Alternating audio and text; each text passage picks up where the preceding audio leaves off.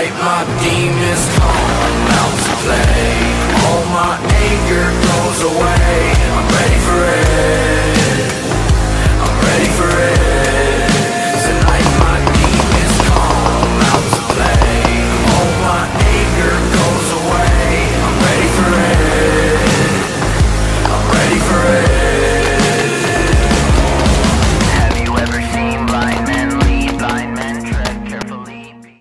what's up, guys? So today, let's talk about lasers.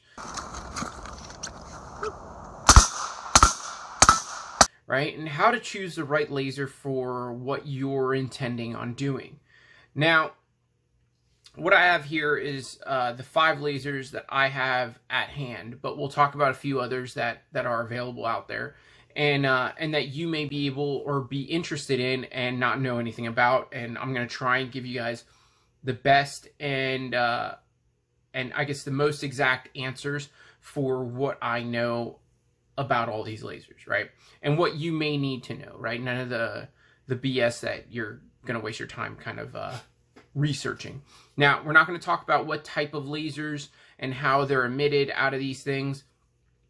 Although it's important, uh, I, I, find that it's kind of a waste of time um, because most people don't care about how the lasers are emitted, but they care about how they work, right? How, how they're going to be put to use and what they look like.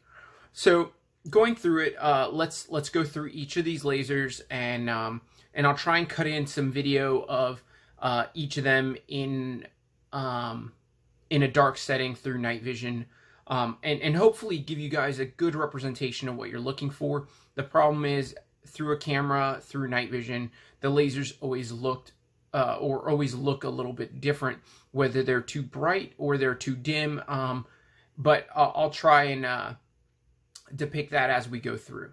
So let's start from um, let's just go go through it, right? So one by one. Now, the first laser we'll talk about is an actual pistol laser, right? So for handguns, it could use on uh, it could work on a rifle. This is the Streamlight uh, TLR VIR2, right? The the version one I have no idea about. I did not try it, but the version two looks pretty nice and has been working really well since. So if you guys have never seen one, it's it's a pretty simple design. It looks and uh, and fits in the same holsters as the TLRs, uh, right, the HL versions. In the Safariland holsters, it works in all of them, even if it's set for a Surefire. Uh, I use it all the time in one, so don't don't get too uh, bound up in that one. But what's what's kind of cool about it, right? You have your little zero points where you can zero it. Um, you do have a white light feature, and uh, I'm sorry, a visible feature, which is just white light. You have an off, and then you have an IR feature, which is an IR floodlight and an IR uh, pointer, right? So there's no visible pointer, there's nothing like that. You have to zero it under night vision, um, which kind of sucks, but it is what it is, right? It is a laser um, for your pistol. So if you aren't able to RMR your guns and you have night vision capabilities, I will tell you that uh, using a red dot on a handgun is a way better option but this one works really, really well, and I'm very happy with it. So definitely something to look at uh, if you're looking for pistol-mounted lasers. Now, there are other pistol-mounted lasers main, made by Steiner, and the Steiner PL and stuff like that, they, they all work uh, pretty well for late or for handgun stuff. I still wish they were um, their their beams were a little bit tighter, but other than that, uh, most of the pistol mounted lasers work really well. But remember, that's kind of a niche thing. And if you're using a red dot, um, it don't matter. So personally, I find the red dot or an RMR or a mounted la- or mounted optic to be way more suitable for handguns than uh, mounted lasers. That way, you still have white light capability. But overall, not a bad option. Uh, I truth uh, truthfully, I think it's it's super fun to shoot. Um, and it's really uh, one of those cool little things that when you throw it on a handgun, people get to see how handgun stuff works under night vision, which all my daytime classes don't get to see. So I've actually thought about getting a visible laser for my handgun just to teach certain things. So something cool, um, but really strictly for the handgun. You could use it on a subgun or something like that, but personally, uh, I would go with a real laser or a a more uh, rated laser for that kind of abuse. Now, going down the line a little bit, right? Let's talk a little bit about the Holosun.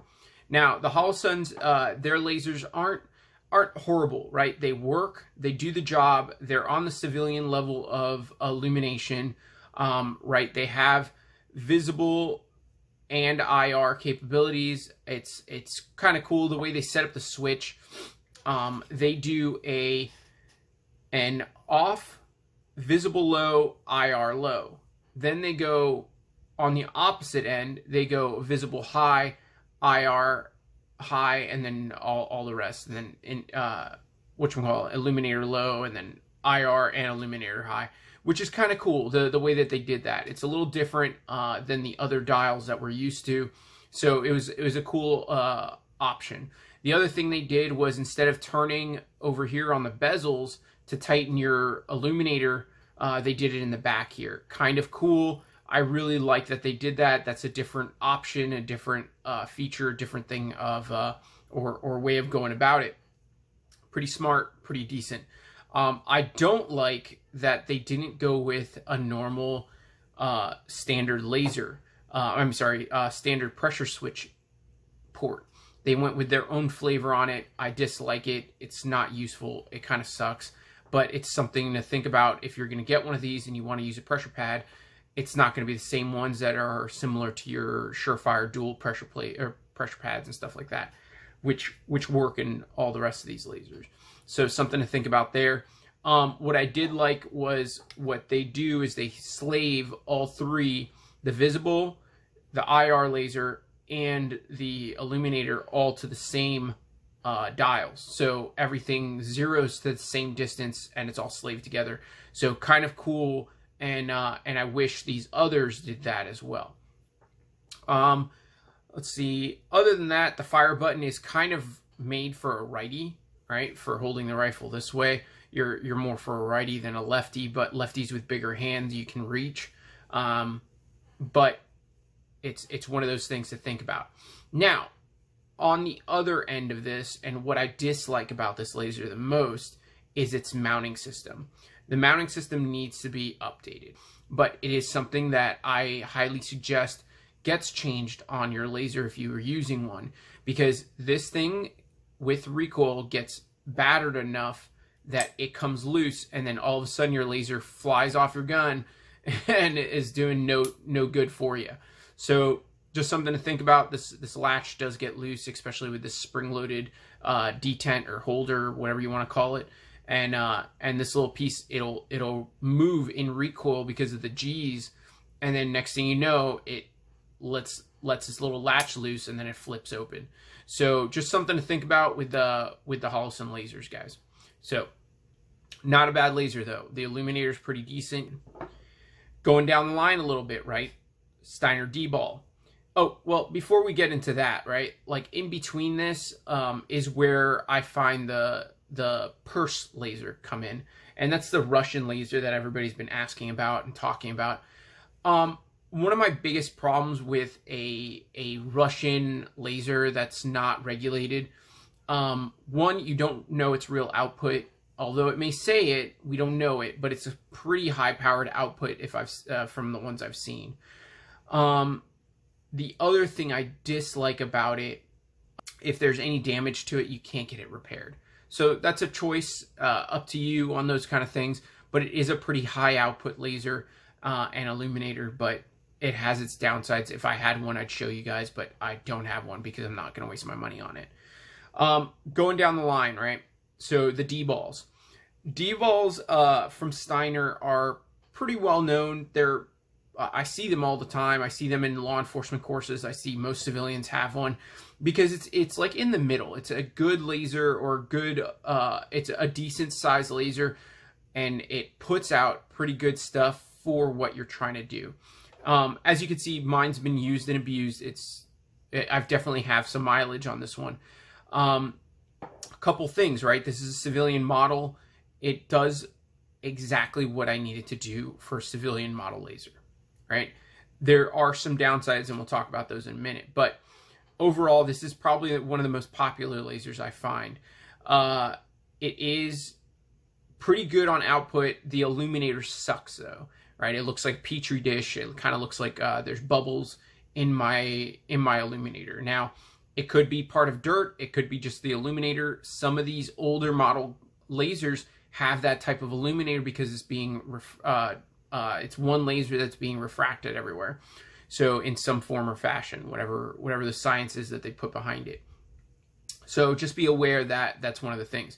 This one has a visible laser and it has an IR laser. And the settings are pretty simple. Like if if I go from off, which is uh, horizontal, if I go from off downward, I have low laser, a visible laser, and high visible laser.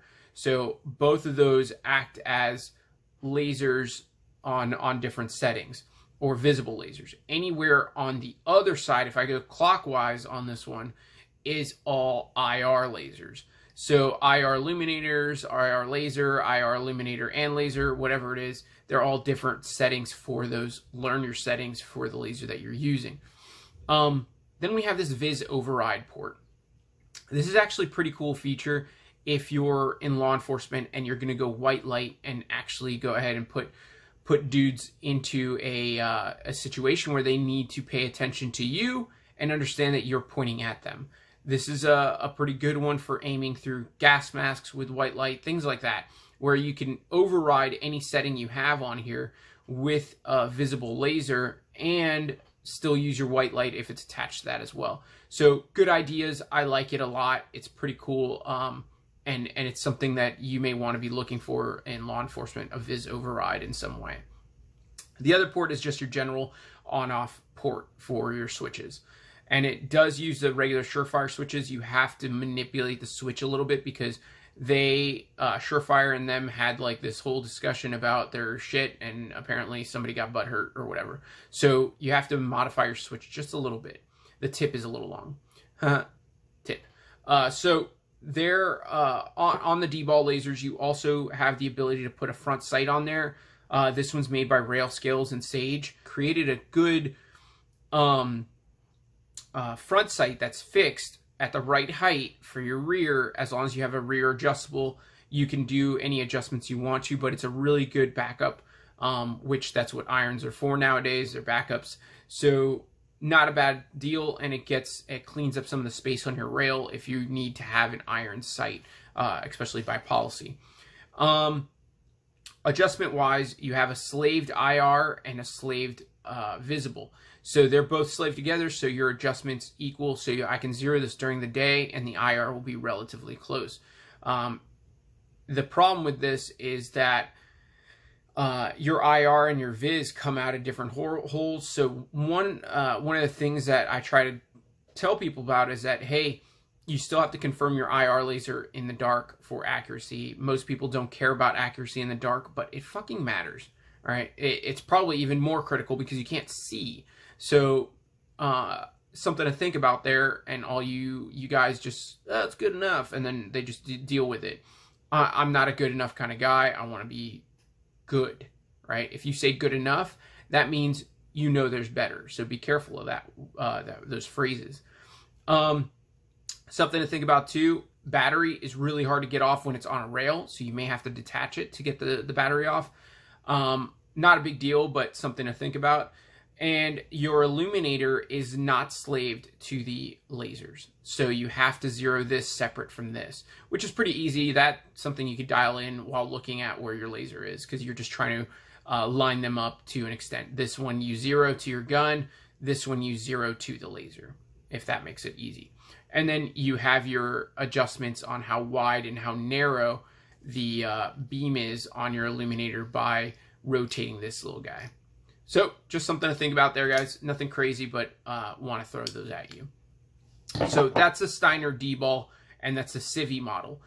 Um, one of the questions I get a lot is about the D-ball I2 or the I squared. Um, the problem with the D-ball I squareds is that there's a couple different models. There's one that is just IR, right? You have an illuminator and a laser that are just IR, and then you have one that is just a Viz laser and an IR laser, no illuminator you have to be careful of which one you're buying and be sure that that's what you want. I don't suggest them. They're a pain in the ass. And personally, although they're cheaper and you can get them for a really good price, um, I prefer to stay away, save up more, get an A3, or get yourself a Holosun as long as you zip tie it or the mount gets fixed. So, just just my thoughts and, and my opinions on the the D balls.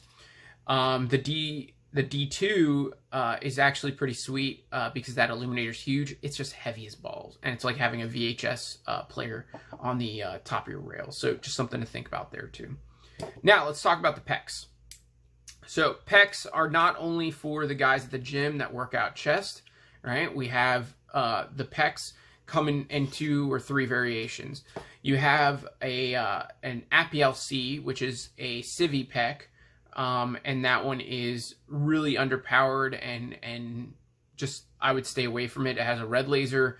It's it, eh, eh, you can't really zero it during the day. You have to wait until really really deep into dusk to actually uh, play with it. And then also uh, on the uh, illuminator side, it it sucks. It looks like a petri dish. It's really dim, and there's no way to really uh, amp that up. So the Civi PEQs, in my opinion, are for people that just want like a clone gun, and um, nothing wrong with it. Just I, I don't believe in in cloning guns. Uh, my military gun sucked compared to what I use now. So just something to think about. Um, now the Civi PEQs, uh, I, like I said, they're just for those cloners or airsoft or whatever. On on the real side of things, right? You have your your PEQ 15s that are full power. This is what that this one is. Um, the attachment point isn't too bad as long as you tighten it down really good. It won't get loose, and uh, and as you can see, like I tried to witness mark mine, so make sure you witness mark it with this, right, we have settings that are down, which is one laser setting, and it's and it's pretty dim. It's not the brightest uh, laser, um, and it's red. So that's always like uh, you know choose your destiny. Uh, off is horizontal like the like the D ball was. They kind of run in the same circles, and then everything along the clockwise side or going clockwise on this are the IR settings. And if you're wondering what this little screw hole is, it's for these little blue screws so that you can set it so that it doesn't go to high power, uh, so you're not burning people's retinas and shit. Um, yeah, there's there's story time on that stuff, but I'm gonna leave it out of the video. Um, so so just realize that that's what that's for. Anything past here is really high powered, and you're hitting in the 45 milliwatt side, and is something to think about there when you're using it against people. Um, and then you have your settings for your lasers and uh, on this side, which are slaved as well. So you have your Viz uh, laser, and then you have your IR laser on the other side, and then you have your diffuser on top. That's what these adjust for. And then these on this side adjust for your illuminator. Once again, the illuminator kind of sucks on this. Not the best illuminator out there. Um, the uh, on the Civi packs. on the full power packs, you're getting an actually good illuminator that can do some good stuff and push through some photons. But something to think about there. Um, I think that's pretty much it on the PEQs. Oh, one thing I do like about the PEQs is where their button is. It's a little easier for a lefty to get there on it on when it's on its on a rail, um, almost as easily as a righty. As you can see, it's almost center line. This kind of helps you out compared to like the D ball and the uh, Holosun. Something else that I wanted to mention that I forgot about the D-ball is that uh, the D-ball switch likes to get bumped really easily. So let's say I have it on on uh, low low, right? So low IR and low illuminator because that's all I need right now. What'll happen is every once in a while after like a reload or I start manipulating the gun in some way and I have to come back to the laser, uh, I'll bump it and or I'll hit it on something and and it'll switch really easily. That's one of the things I don't like about the D balls is that their switches are really soft. Uh, it may just be my switch, but the majority of them that I've seen uh, are like that. So something to think about. Um, but they are easily bumped. That is one thing the PEQs have really good is that it's recessed and you have to actually get your thumb in there to manipulate this thing. That is one thing I really do like about the PEQs uh, something to think about there for those of you that that you know are playing with these things. Um, personally, though, if I could find a full power D ball, I'd buy that over a full power PEQ. uh, because it gives me a full power green laser at different settings, and it gives me uh, a better a better overall performance over the two, uh, in my opinion, right? Um, so just stuff to think about when it comes to the civilians and the and the actual mill or full power uh, versions of these uh, lasers. Now, to my favorite laser, and I, I have no problem saying it because this is definitely one of the best and most innovative lasers I've ever seen, and this is just a civilian model. So one of the things I, I throw out there, right? So the B Meyers MAWL, and this is a C1 Plus, which is a Civi model. It it really is an all-encompassing laser. Um, I I tend to to gravitate towards this laser no matter what. If I want to use laser devices, I stay away from all these and would just get one of these. Um, because I do law enforcement and military courses, uh, occasionally I run into guys that are using these. Sometimes they're using these, sometimes they're using these. So I have to have a variation because I want to teach with or help them understand different aspects to their lasers if they're using it. And that's that's called being a professional. So having the options. Now with the MAWLs, uh, there are two models. There's a C1 Plus and there's the DA model. And now they just came out with the X1 and all these other things, which is just a variation of the DA uh, model, just a slight slight change in name and color. So um, one of the one of the biggest perks to this laser is that because it's a civilian model, if there's a problem with it, I can send it back, get it fixed, and get it back. With a full power laser that I don't have letterhead and I'm not part of any organization that'll let me send these back to L3 and get repaired. So something to think about for the guys that want full powers of any of these. You can get it. It's definitely easy to get, so don't don't think it's hard. The problem is getting them repaired. That is one of my biggest things because I use these things a lot. They're all pretty beaten up except for this Hollow Holosun, and that's because the Holosun doesn't belong to me, right? I'm borrowing it, and I don't treat things very nicely. I'm not overly abusive, but I do throw these things in a box on rifles that get rattled around quite a bit. So just something to think about. You want things that are rugged, which they are. They all have been really good, but things break. So I want to be able to, uh, especially on something so expensive, I want it to be rugged, but I also want it to be repairable, very easily repairable. Now, something to go through, right? So let's let's talk about it a little bit. One of the things I like about the MAWL is one, its ergonomics. Real simple. It sits right above my light normally, and uh, and really fits nicely and snug against my rail.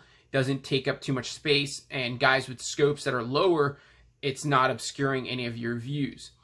Um, one of the things that I really like about it too is that it comes with its own pressure switches doesn't doesn't cause me to have to use some kind of switch system which it's not a bad idea if you're in an awkward position and stuff and can't get your hand all the way out to the rail.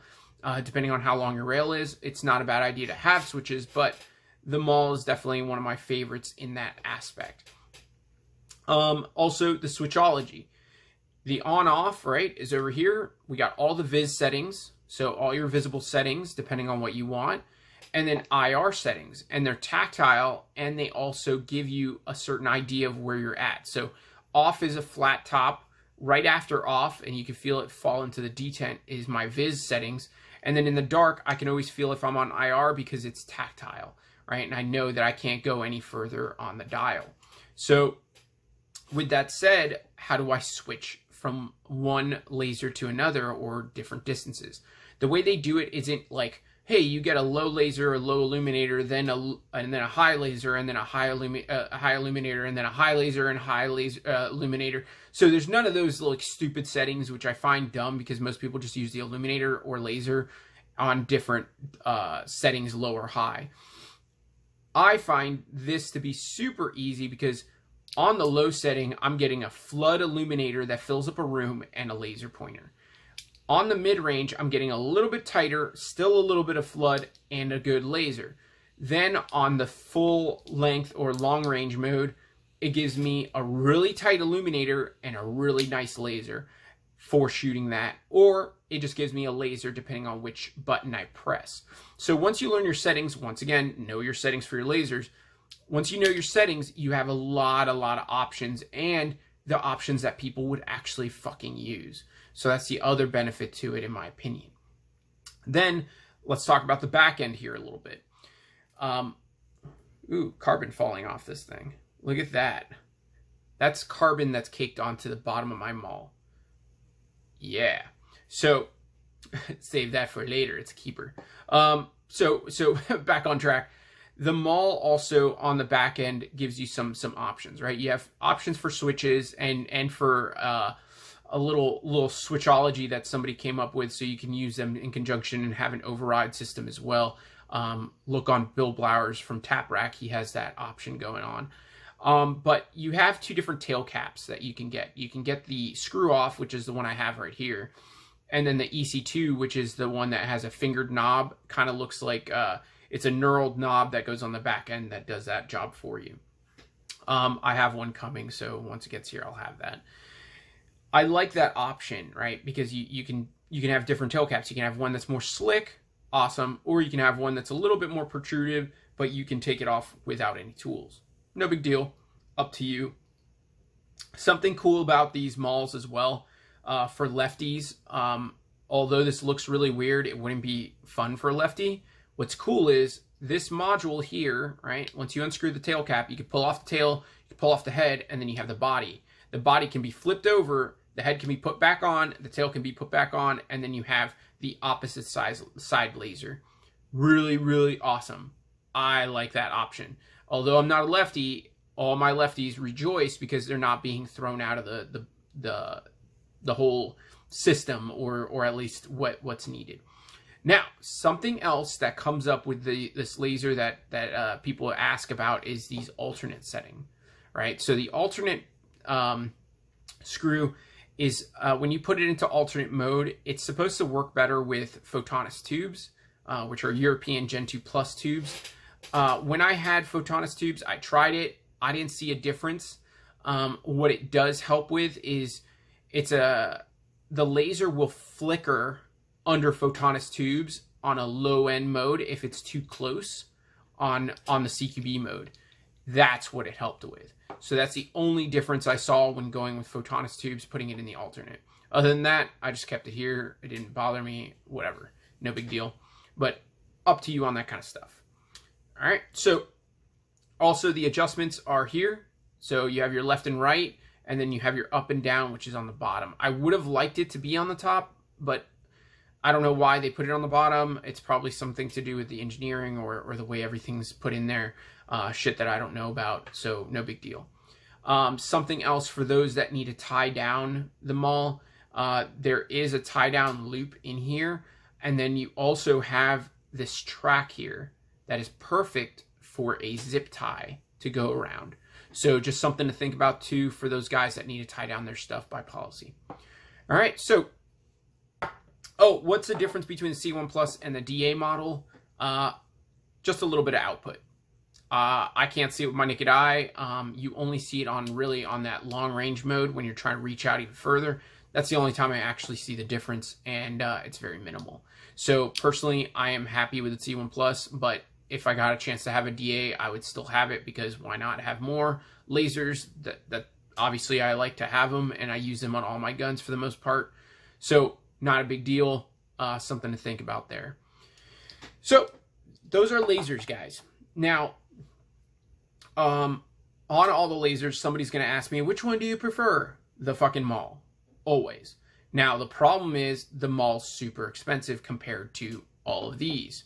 Um, and, and we didn't even talk about like uh, an LA5, which the PEQs resemble an LA5, but the LA5 has even more power than a full power PEQ, which is, it's crazy good, but it's still PEQ ergonomics. So it's still, I still, I rather my MAWL by far. Now, Jon, what if I can't buy them all? Which one should I buy? Well, I'm not going to use this on rifles, so, right? Now it comes down to preferences, right? Do I want a red laser or green laser? Oh, Jon, I want a green laser. Yeah, me too. Right? Jon, what do what do I want out of my laser? Well, I want a good mount. I want it to work really well. I want to have a front sight still. Ah, maybe the maybe the D-ball A3 will work for you hey, Jon, I don't have the price tag or money for an A3, hey, maybe a Holosun will work for you. Just be aware of the mounting system and the the limitation on the switches. So overall, guys, when it comes to picking a laser, when it comes to picking a laser in general, it is up to you, right? It's up to you, your budget, just like night vision. Also, what the hell are you going to use it for? So personally, I go with my best laser because I can afford, my budget allows me to get a MAWL. Um, but for you guys, if if your budget doesn't allow you, one of these, one of these, even that may suit you for a certain amount of time. The problem is most people will buy one of these, be like, "Oh, it was great for like a year," and then I I wanted something higher powered, and I got this, "Oh, it was awesome for another year," and then I was like, "Man, I want something more ergonomic that fits with my style of doing things, and I'm more into night vision." Boom. So you end up back at the MAWL, anyways. Most people do, and and uh, not I'm not saying it out of because that's what I believe. It's what I see in students, especially my my uh, repeat offenders, and I see it in law enforcement agencies when I show them the difference between their PEQs and DBALs and the damn MAWL. The B.E. Meyers MAWL definitely kills everything.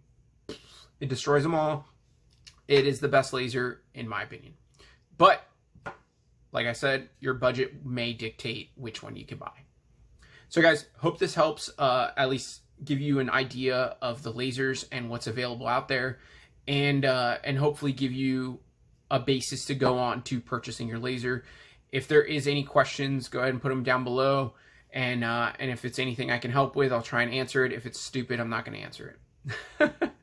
so, have a good one. Bye, Night Vision. Tonight my demons come out to play. All my anger goes away. I'm ready for it. I'm ready for it.